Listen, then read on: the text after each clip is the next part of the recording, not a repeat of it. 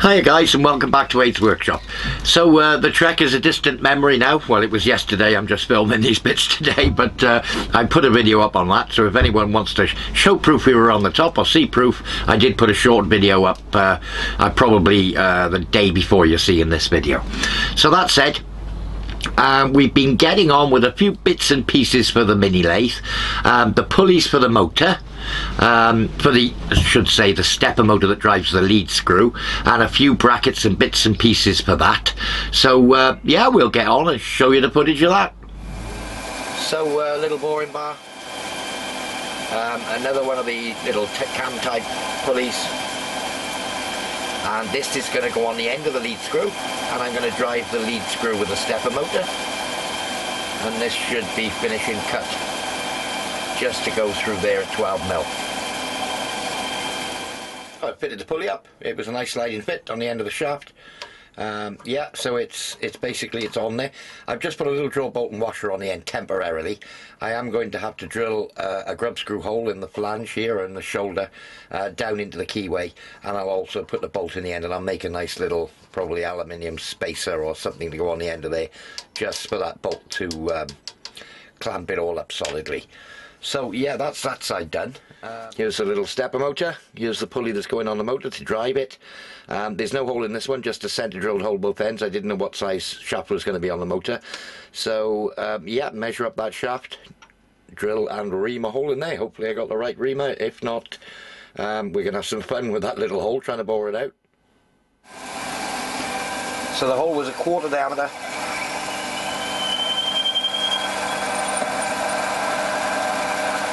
So I'm just going to drill it out.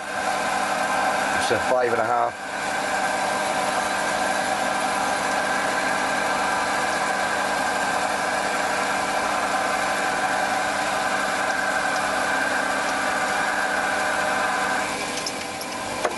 Slow it down a bit.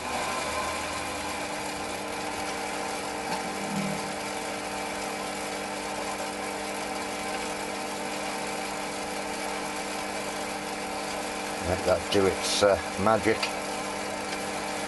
Get a bit clogged up there.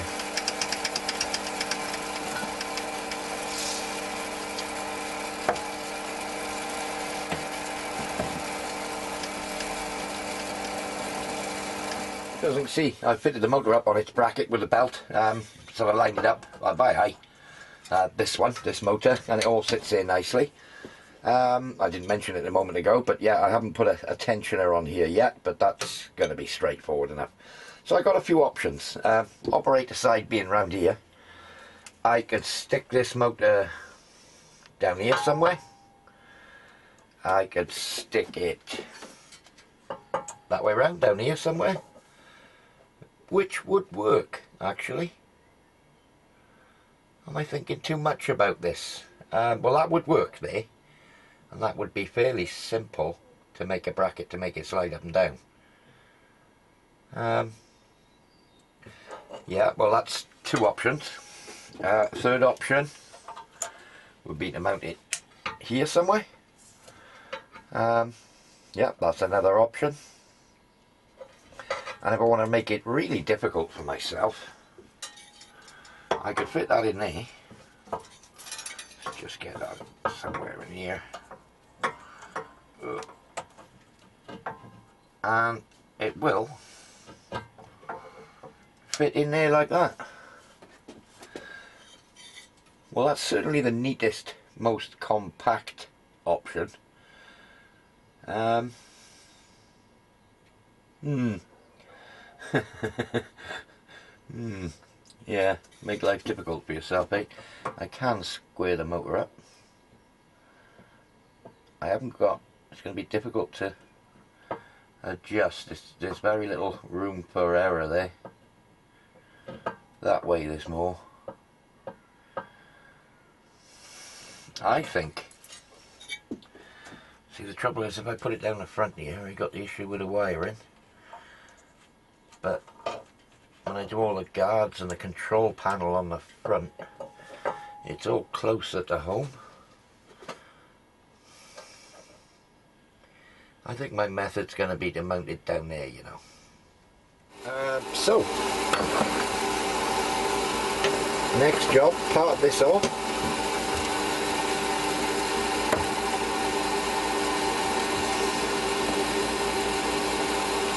I'll do it.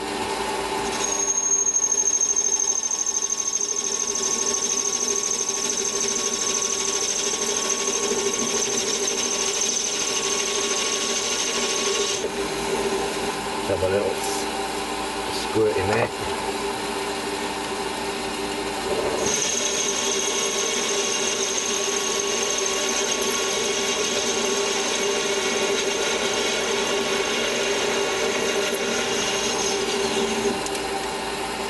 Okay. Uh, we'll have that bit of aluminium bar over there. Where'd it go? Where'd it go? Where's the part? There it is.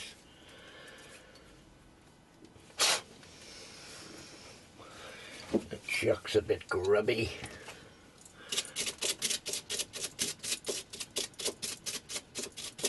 Okay.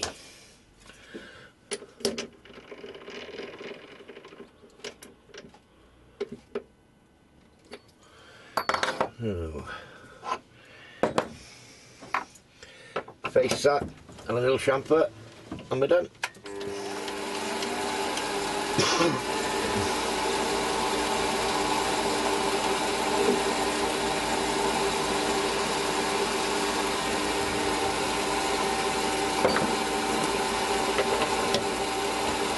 We can have quite a big chamfer on top of here, make it look nice. I'll do it. Uh, let's just get in there and break that edge. And I think that's the part made. So a little retaining washer fallen down in the bed again. yeah, little retaining washer. So we'll have a 6mm bolt, go through there. That sits neatly in there. And that's now proper retaining washer for that.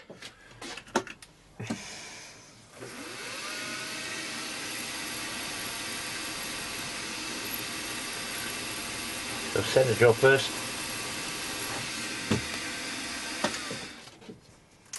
Oop. And my drill bit has dropped in my T-slot. Whoop. This drill bit. Oh, up a bit more ahead. Okay.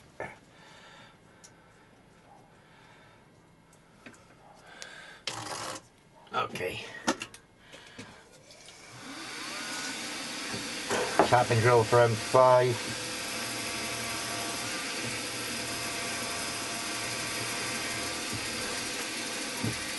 Okay.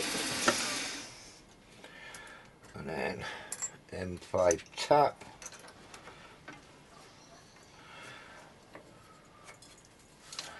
Right, let's slow it all down a bit.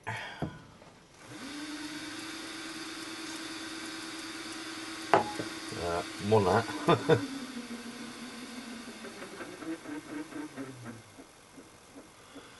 Finger on the stop button.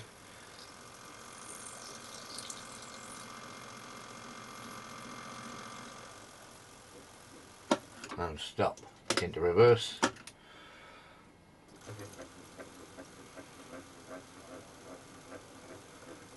Feeling brave today. Okay.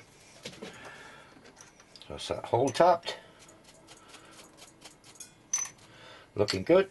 Drop the tap down the T-slot again.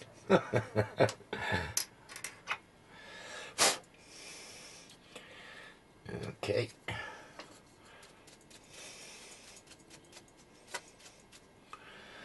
Uh, got a little burr in there. I'll just have to, I'll just run a needle file through there to get rid of the burr, and we'll fit a grub screw and fit that on the shaft.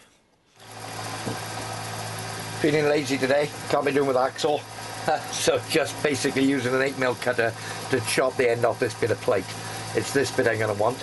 So I'll machine that side. I've squared it up on the table, got it clamped down direct on the bed. I've Been very careful that I'm in the slot with the cutter before I even started, just to uh, not have a a milled slot in my table, which we don't want. So yeah, just gonna let that do its thing. Um, two mil cut. Um, it's 10 mil plate, I think, so five passes. Happy days. So just chucking a bit of WD in there. And I'll let it do its thing. So that's just finished cutting. And while that's been doing what it's doing, I've cut a bit of that channel that we used, um, 100 mil long. I need to cut one leg off it. So, yeah, very simple. Just turn that bead off, turn the cutter off, unlock the head. Let's just send her up. Uh, where are we? Okay.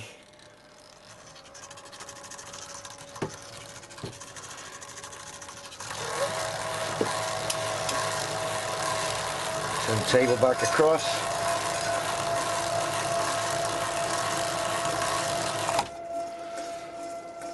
Oh, I'm gonna have to undo my stop now.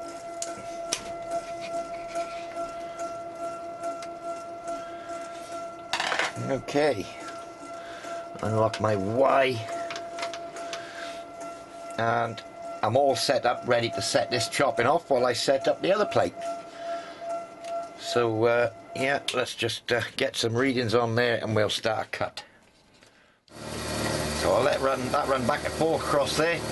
Um, three passes probably, chop that bit off and then we'll dress it back to the, uh, the rear face or just mill it off so that it's nice and flat. Um, yeah, and in the meantime, I'll get the vacuum out, clean this lot up and set it up to cut the other side.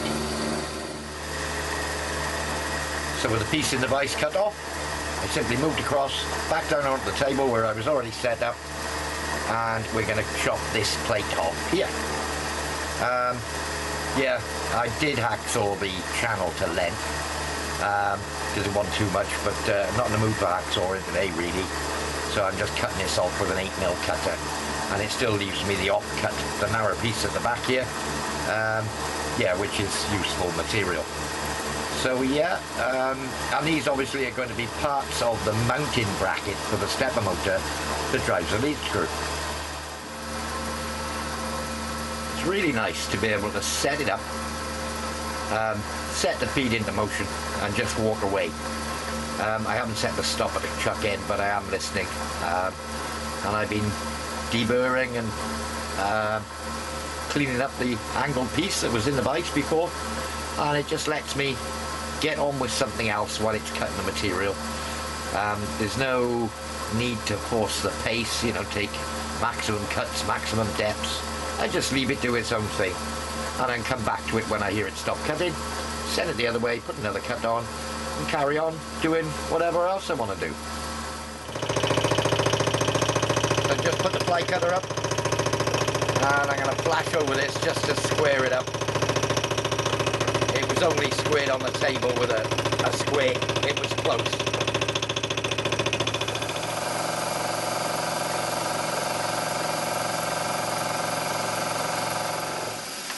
Sizes aren't important here. It was real size. I just want. I just picked up the centre of everything. Um, so I want four holes, 47 mil centres we shall have a look and we shall put four countersunk holes for M5 cap heads in here um, so 5 mil whatever it needs through countersink deburr you've seen it all before guys it's just drilling holes um, yeah it's clamped in vise now I thought I was going to have to support this back edge and clamp it down but you know in the fact that it'd be howling and vibrating but it's actually not. So happy days. Uh, so I cut the slot through here. I've basically got to cut this corner piece off. So I'm just putting a slot that way and then I'll do a slot this way, drop this bit off, tidy it all up and then uh, finish it to size. So, so I've just clamped the PIX bracket and the sliding part of the bracket together in the mill here with the toolmaker's clamp. Centre drill two holes 50 mil apart, roughly where I want them. And I'm just going to drill tapping drill for M6. No, I don't want brake cleaner, I want WD-40. M6 tapping drill right through the pair Got a bit of deflection out here, I'll just take it gently.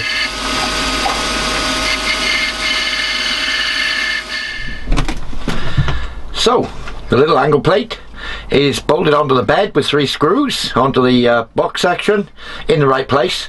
Um, the bracket we made earlier with the motor on it is on a slide on there with two bolts on the outside so I can slide it back and forth to loosen the tension of the belt.